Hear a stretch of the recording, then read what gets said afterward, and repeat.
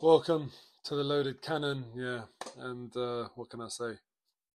Really, really disappointing. Really, really poor performance today. The word is sloppy. Every single reaction that you watch, every single conversation that you have that is going to talk about this game today is going to have the word sloppy in it.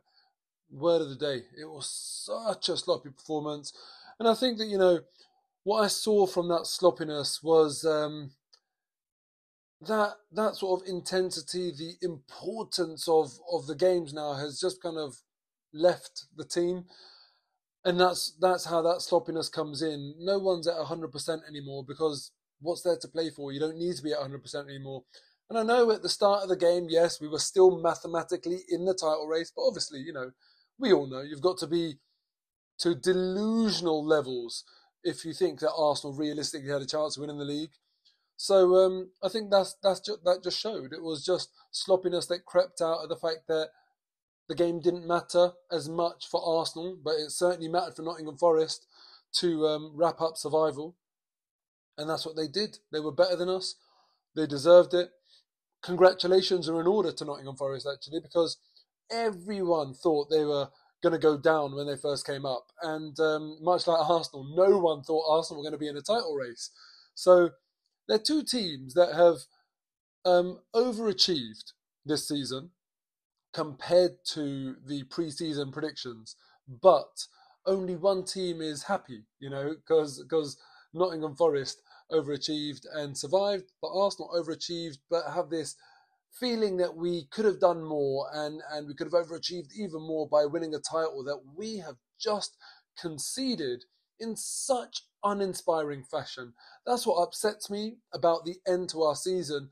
You know, the hammering at Brighton, followed by this. I can't believe this is the same team that went and put in such an inspired, brilliant uh, performance where we dug so deep and showed so much resilience against Newcastle, away of all teams, Champions League chasing Newcastle, away from home. And then we go and do what we did against Brighton and Nottingham Forest. It just, um, yeah, it's crazy. I mean, that new Newcastle performance, actually, I thought, you know what? That filled me with pride. And I thought, that shows me that this team is actually a proper team and is here to compete again next season. But then Brighton and this game, you think to yourself, bloody hell, hold on a minute. But, actually, do you know what? I'm not going to let the last two games or even our recent form prejudice my view of the season as a whole because for the vast, vast majority of the season, Arsenal were really, really good. And I do think Arsenal will be there or thereabouts next year and will compete. Um, it might not be as good of a title challenge as it was this year. It might not be a title challenge. Uh, it might not result in a title challenge. Who knows? But you know, who knows? We might even go and win the league. Who the hell knows? But I think we'll be there roughly, and I think we'll get top four.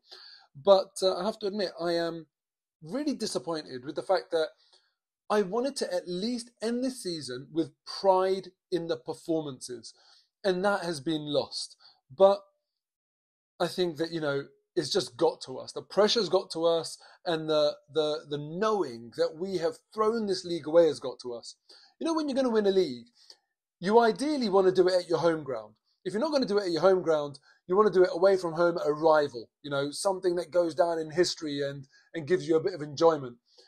If if not, then you know, fine. You take it you just want to play. You know, you, take whatever you get, but you just want to play. You want to be on the pitch when you're in the league. You want to have done it after bagging a win and securing a three points that lead you to that league. And then you have the trophy there, you have the celebrations. Man City have won it, not even playing. And that, that's what I didn't want Arsenal to do. I did not want Arsenal to gift the league to Man City. But in a way, it might be so appropriate because that's the story of the season. We were eight points clear, and in effect, we have kind of gifted the league to Man City. We weren't able to keep up our early season form, and um, you know, at one point it was all in our hands, and we slipped. We did, to an extent, bottle it. I, I'm not going to say it's a we're bottle jobs or anything like that, but yeah, that is part of it. We didn't have the bottle to to see out the, the season and live with that pressure with Man City chasing us. And that's fine by me. Well, it's not fine, obviously, but it's understandable. And that is part of football. I don't think Arsenal completely embarrassed themselves or anything. We put up a really, really good title, title challenge. And we we came second to a team that's now two games away from a treble and and a team that has um, won the Premier League three seasons in a row. Man City are an incredible team. If you don't know that for yourself, then where were you when they battered Madrid 4 0? So I am disappointed that we've just kind of given it, we've handed it to Man City. At least keep them honest, at least make them earn it. You know, I felt that when we were on top, Man City always made sure that we had pressure. And as soon as they went on top, we never ever even tested them to see how they would do under the pressure. We just gifted the league to them. So yeah, I'm very disappointed. It doesn't feel nice after such a good season to win nothing and to end the season uh, with such little pride. Um, one game left. I just hope that we play Wolves and actually give the home fans something to sing about because we we need to end this season on high. It just doesn't feel right to go out like this. Looking at the game today, as I said, sloppy. Ødegaard for their goal, very, very sloppy pass. And that wasn't the only one. Obviously, that's one we're focused on because um, it led to the goal. But also, Xhaka at the start of the second half, very sloppy, gave the ball away. They had a chance at goal. Even Gabriel, he was sloppy in terms of an off, off the ball foul that he should have got a yellow card for, with a, with a ref played advantage and brought it back. He should have got a yellow card and subsequently did get a yellow card for another sort of sloppy duel. So he could have been sent off. Um, it was it was just it was just really really poor. But you know, even Ben White and Gabriel. Remember when Gabriel tried to pass it back to Ramsdale, Ben White couldn't get out of the way, and uh, Gibbs White had a chance where where he hit the side netting. Again, sloppy, sloppy, sloppy, sloppy. That was just the story of the day. And um, even the referee was sloppy. You know, Gabriel Jesus, he does get pulled. There's an arm on the shoulder. He gets tugged. He goes down doesn't even go to VAR. I mean, I'm not going to blame the refs by any stretch because, you know, we lost the game ourselves today. But even that's sloppy. How can that not go to VAR? Why does that not get a look? I think that was a foul and that it looked like it was on the line or in the box. So that should be a penalty. And then the game is completely different. And then what annoys me is that their player Yates in like the 89th minute, not even a shadow touched him. Not even a shadow. He just throws himself to the ground and he gets the free kick. And you just think to yourself, my God, you know, we bemoan the refereeing and the consistency in this league. Um, it just does my head in.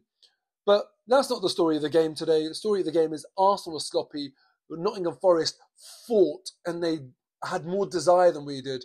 And you know, I want to give Nottingham Forest a bit of credit because I spoke about game management last week and how it's becoming a bit of a joke. Uh, Newcastle are the best at it in the league. Arsenal, I'd say, are a close second. Um, so we do it more than most. I readily admit that. But actually, I want to give Nottingham Forest credit because they actually didn't do that to the extent that I thought. You know, when they were 1 0 up going into the last 15 minutes, I thought to myself, oh, here we go. It's going to be a foul every other minute, players going down. But actually, Nottingham Forest just kept on playing. And I admire that. Uh, I, I can't wait till they introduce a stop clock or do something about this to make sure games have got a better flow because it's becoming like awful. You saw in the Europa League midweek how ridiculous it's become if you were watching those games. So, yeah, the sooner they put that right, the better. But well done, Nottingham Forest, for not doing that game management nonsense to a ridiculous degree. And also, well done, Nottingham Forest, for showing loyalty to your manager as well. That's one thing that made me want Nottingham Forest to survive in this league because every other team has got rid of their manager, and Nottingham Forest is quite rare that they stick with the manager that gets them up from the championship. Usually, they're very quick um, you know, owners and, and clubs to get rid of that guy. But I like the fact that Nottingham Forest have done it.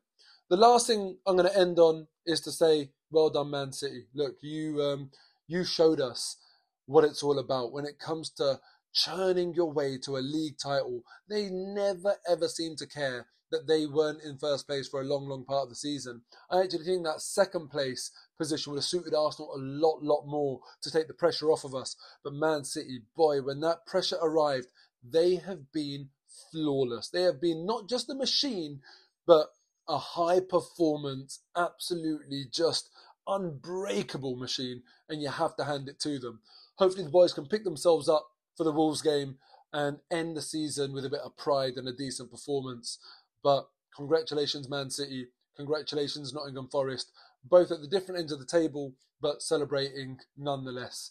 And I will see you for my five at five tomorrow. Slightly despondent, but hey, what can you do? Take care.